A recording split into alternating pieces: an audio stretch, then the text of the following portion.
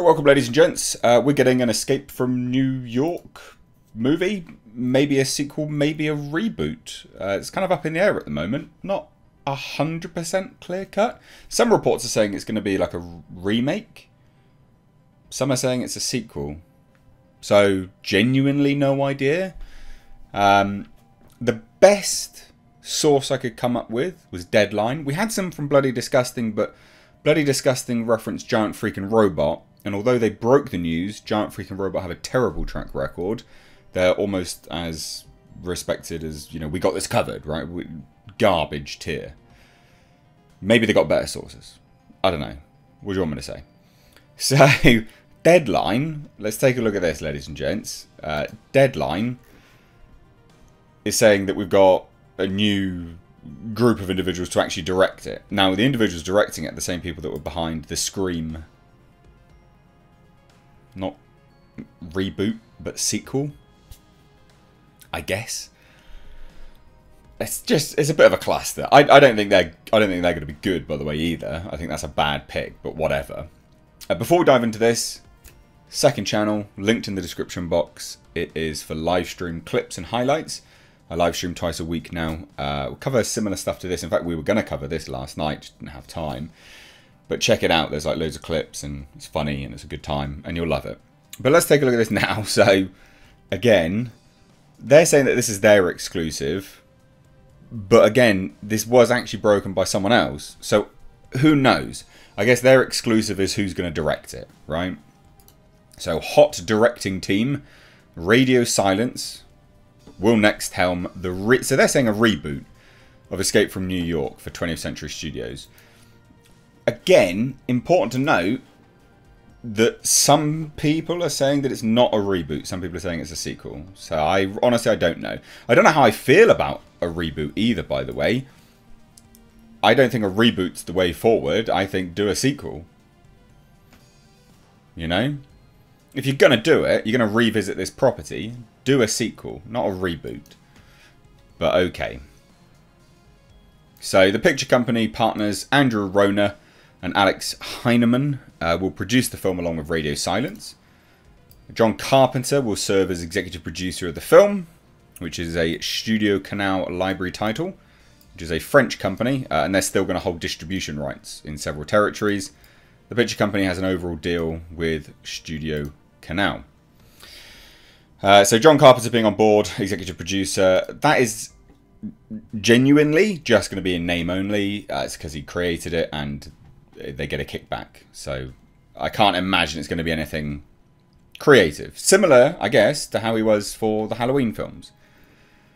So word is quiet on the approach for the film, but sources say a writer search is underway. So they don't even have a writer, but they're also saying it's a reboot. And the thing is that's important to know, Reboot's a hot word right now, good for like search engine optimization. But if they don't even have a writer, we don't know if it's a reboot. And mainstream media likes to throw around these titles for that reason because it's like, ah, people, ah, cool, like it gets clicks. So we don't know if it's a reboot. We've heard that it is also a sequel, but who knows? Um, but yeah, so Radio Silence is made up of filmmakers Matt Bettinelli uh, Bettinelli, sorry, Olpin, uh, Tyler Gillett, and Chad Villella. Uh, its the last film, which is a relaunch of the Scream franchise, it was a hit for Paramount, which went on to gross 140 million at the worldwide box office. Doesn't sound like a lot, does it? That's a hit. Well, I guess they make them for absolute peanuts. Uh, it was also critically acclaimed. I, I gotta say, I didn't really care for that film that much. Uh, the team just wrapped the next chapter in the Scream series, which will hit theatres next year. And they also made the critical hit Ready or Not, which I've got to say, I love Ready or Not. I think Ready or Not is what they should have, uh, you know, led with as a mainstream. Mainstream media is just looking at what was their recent thing. That'll get some clicks, rather than what's a good example of their work. Ready or Not with Samara Weaving, so good, excellent film, absolutely excellent film one, if you haven't watched it, you should. But it's also a fine example, probably one of the better ones that we've had of late, you know, in the last, I don't know, six years or whatever. I don't know how old it is, but let's just say six years for argument's sake, of how exactly to do a strong female lead. Because Samara Weaving is a badass in that film. But she earns it. She has to go through stuff, just like any bloke would in their films, right? So I like, you know, I, I that's the best example, and that's what makes me excited for this. Because there's some good action in that film as well. I don't think Scream's a good example of their like their action capabilities. You know, Ready or Not has some decent action, but also uh, it's funny, it's grotesque, it has everything from a writing perspective. It has pretty much most things in it. It's a very good film. Put that on your uh, weekend watch list. So, yeah, um, Steve Asbell and J.R. Young are overseeing uh, Escape from New York. For the studio, Radio Silence is represented by UTA and Brillstein Entertainment Partners.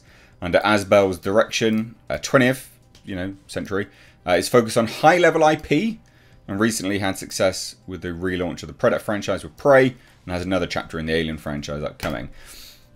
So it is interesting. It is looking like they are trying to mine old properties. Now it's interesting that they note Prey because that was just a Hulu film. You know, it's released on Hulu. Um, and Alien again, that's going to Hulu as well. So it's it's unusual that they're saying these things.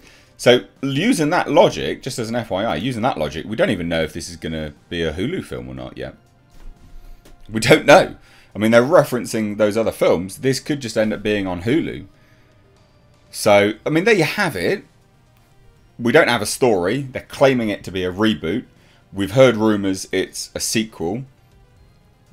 Literally, who knows at this point in time. But in concept form, I like the prospect of a sequel more than I do a reboot. Fuck a reboot. I'm not interested in a reboot. I'm, I'm not interested, you know? You could do a soft reboot, for argument's sake. You could do something which, you know, has characters or, or is in the same universe, timeline, canon, whatever, and then just progresses the story with a different lead. Whatever, do that. But don't just do a straight reboot. Forget everything. Essentially a remake, isn't it? At that point, no, I don't, I'm not interested in that. But let me know what you guys think down below. What do you think? Are you also, just to throw out the question at the end, are you getting tired of these old properties being mined? Would you like to see more stuff? Or, depending on the property, does it give you hope? Like this, and the people behind it. Let me know what you think. Cheers, guys. Take care.